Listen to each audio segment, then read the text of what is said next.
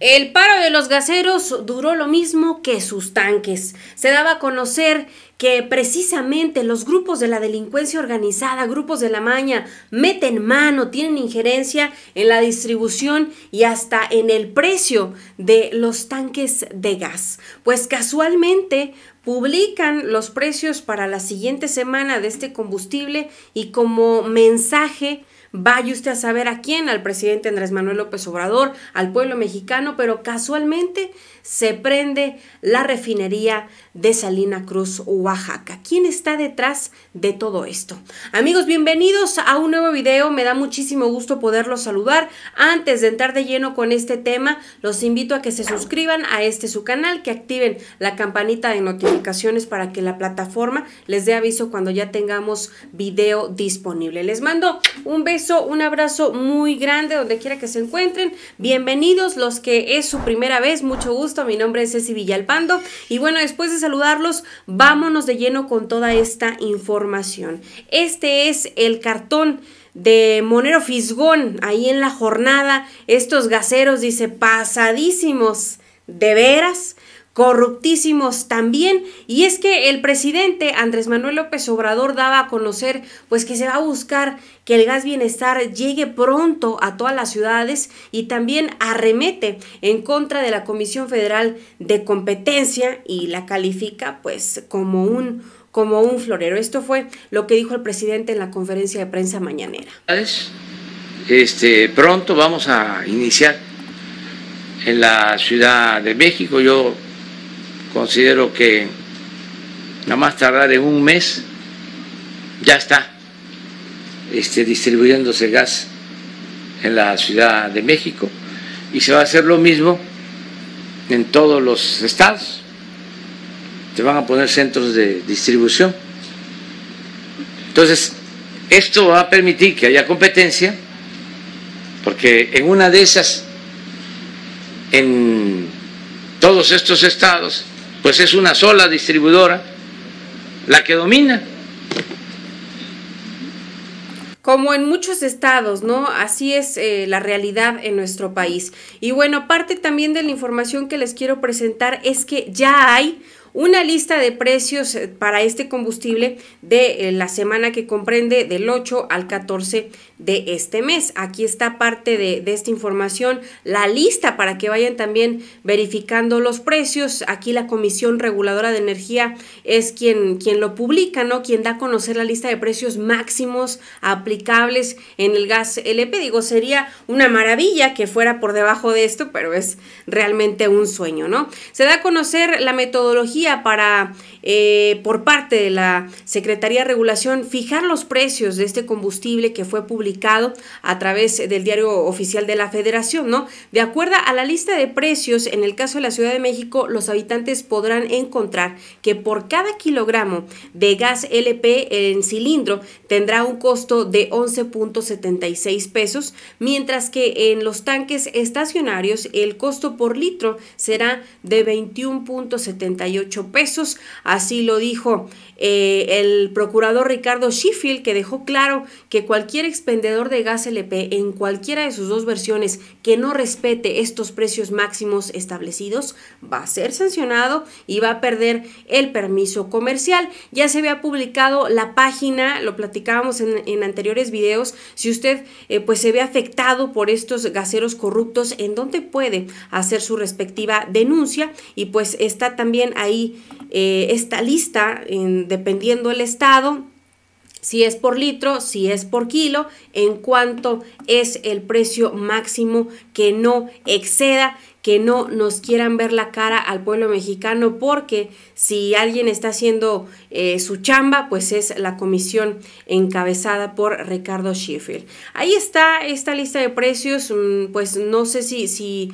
ustedes ya la tienen, si se las puedo eh, dejar ahí en la descripción, si a alguien le interesa, pues para que tenga ese dato ahí a la mano y que no, no le vayan a a dar gato por liebre, ¿no? Y bueno, así se daba a conocer de madrugada, tuvo que ser esta situación. Eh, se reporta que prendieron en, en, ahí en Salina Cruz, eh, la refinería de Pemex, Antonio Dovali, sin gente lastimada, según la información preliminar. de Protección Civil ahí en Oaxaca.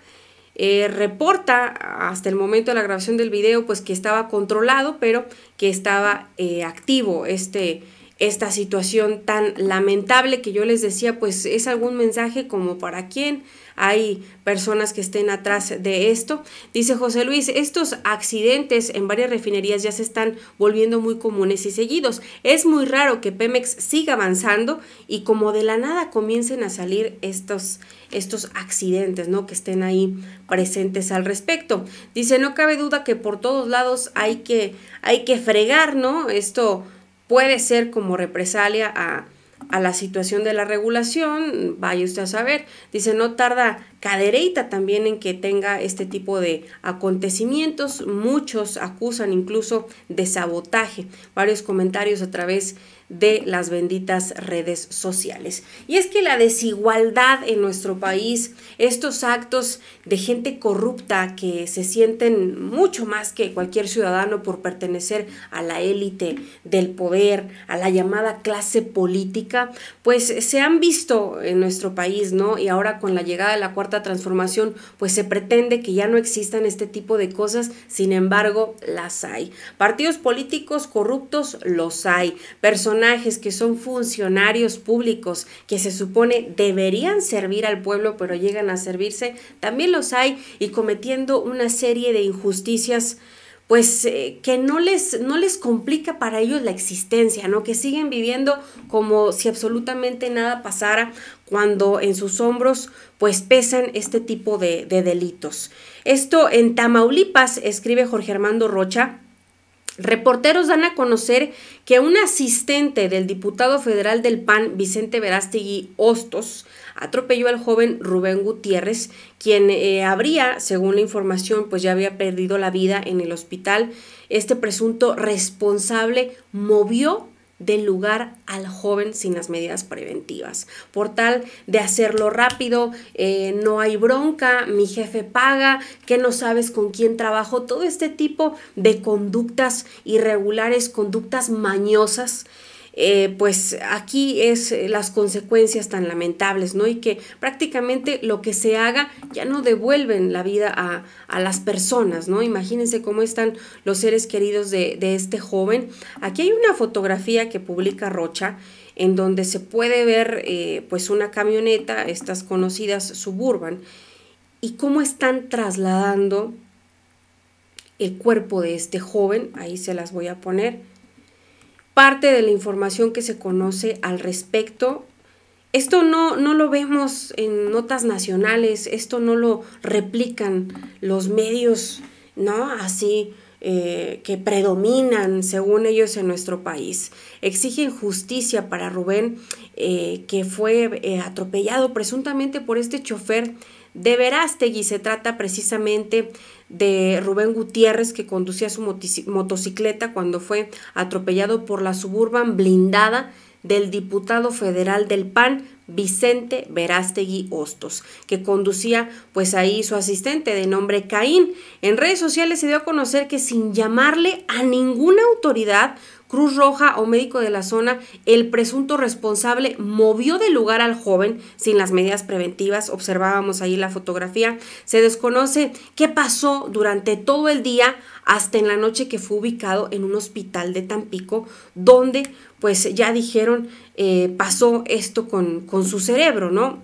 ahí va la nota. Las personas que se percataron de este accidente han sido amedrentadas por personas allegadas al diputado federal eh, de la alcaldesa Noemi González, eh, su esposa, no se diga que no se diga nada, que no se hable de este caso. La, la, tarde del jueves se hizo una misa para pedir por la pronta recuperación de Rubén, organizada por sus familiares amigos.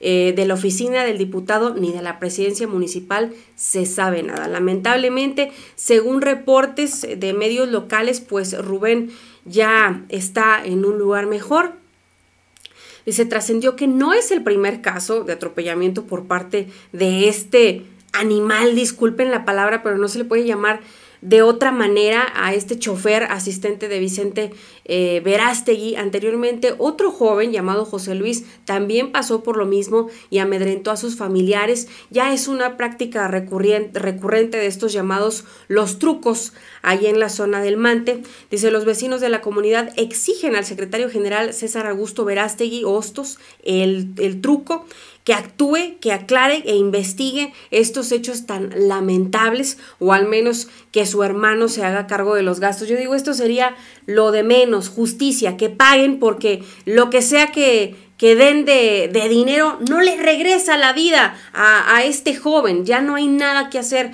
con estos actos de total corrupción. Mire, aquí los comentarios de parte de algunos usuarios, dice Lupita es, eh, no hay manera, ¿no? No hay otra manera para describir a los miembros de este partido sin la autoridad máxima que es el gobernador cabeza de vaca ya en el estado de Tamaulipas, un corrupto a primera imagen, ¿cómo estarán sus funcionarios? Más corruptos, podridos, porque son nefastos. El PAN ya no debe continuar porque son unos delincuentes. Y aquí la evidencia, imagínese usted si así tratan a los trabajadores, eh, así se las gastan estos llamados trucos eh, uno secretario de gobierno, el otro diputado, la esposa alcaldesa, pues todo ahí un cochinero de verdad. ¿Cómo es posible que, sigan eh, al mando, que la gente siga votando? ¿Será esto o de verdad ahí sí tiene injerencia los grupos de la maña como andan diciendo, ¿no?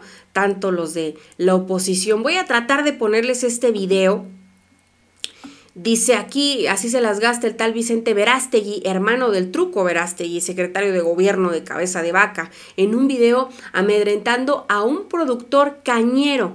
Tiene demasiadas palabras este, ofensivas, altisonantes, entonces voy a tratar de ponérselo a ustedes eh, sin que se escuche tanto. Yo sé que sí se la saben, muchos me dicen, si no le tapes las groserías, yo sé que se la saben y nos sabemos hasta peores, pero eh, el problema aquí es con la plataforma, que no nos vayan a, quitar el video por este contenido. Les digo, sí tiene bastantes, bastantes eh, palabras así. Vamos a ver este video. Aquí paramos a verdad. No puedes. Sacamos de no se la casi tú, cabrón. ¿Quién te vas? No, tú te vas. Tú te vas, güey. Ya tuvo de que No vas a venir. ¿En base a qué? Tienes mucho guapo. Ese es el, el, mentado truco, estos son los responsables, se habla al menos pues de dos de este tipo de actos de corrupción. Imagínese usted todo el cochinero que tienen y que andan ahí tan campantes, que andan como si nada, que pagan porque la gente se calle, porque los medios se callen. Pero amigos, la opinión más importante es precisamente la de ustedes. Déjenme saber ahí a través de los comentarios, pues qué opinan al respecto de toda esta información. Les agradezco como siempre haber llegado conmigo hasta este minuto del video. Les invito también a que se suscriban a este su canal, que activen la campanita de notificaciones para que la plataforma les vaya dando aviso cuando ya tengamos material disponible. Mi nombre es Ceci Villalpando, deseando de todo corazón tengan un excelente día. Muchísimas gracias a las personas que nos ayudan que esta información llegue a muchísima más gente. Gracias de verdad. Regáleme su like si es que mi trabajo le gusta. Les mando un beso, un abrazote, abrazote otra vez muy fuerte y nos vemos en el siguiente video.